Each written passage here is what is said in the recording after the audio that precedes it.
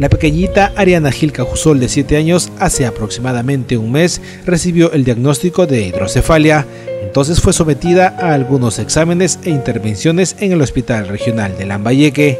Su padre, Hugo Gil García, cuenta que recibió una excelente atención en este nosocomio, pero que le indicaron hacía falta otros exámenes y que los realizarían en el Hospital del Niño en la capital de Lima. Entonces le entregaron una referencia. Mi niña fue operada en el Hospital del Niño.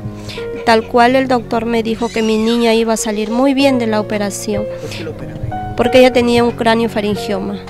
Y el, benigno? benigno nos dijo el doctor, que era benigno, que mi niña iba a salir muy bien porque justamente nosotros éramos de acá de Chiclayo y el doctor también es de Chiclayo y me dijo, me dijo que mi niña era su paisana, que iba a salir muy bien de la operación. Él nos dio esperanzas que mi niña iba a salir bien.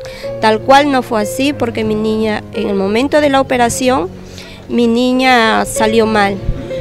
Y tal cual el doctor, como yo a las 7 de la noche, yo le pregunto al doctor y el doctor me dice que mi niña está hablando, que mi niña escucha, que mi niña ve, que mi niña había quedado sin ninguna parálisis. Tal cual fue mentira.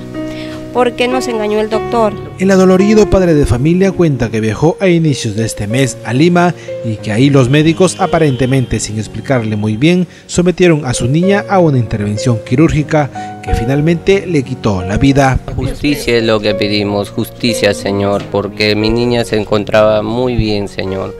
Claro, tenía un cráneo faringioma, lo cual acá yo presento un documento después de la muerte de mi hija lo cual en esa junta, lo cual dice, menciona mi señora que se encontraban los doctores, cuando ya había fallecido mi hija, recién había una junta para organizar, para hacerme entrega de estos documentos, lo cual dice, eh, dice tener un un postoperatorio de craneofaringioma, lo cual sí se hizo, pero se hizo mal. No hay nada, nunca mi niña tuvo nebulizaciones, nunca, nunca hizo consumo de oxígeno, sanguíneo transfusional, nada de eso. Es más, cuando le hicieron la resonancia magnética nunca necesitó ser sedada. Ella cursaba el segundo año de primaria en la institución educativa número 1002 de la urbanización El Paraíso y ayer en medio de mucha tristeza sus compañeritos le dieron el último adiós.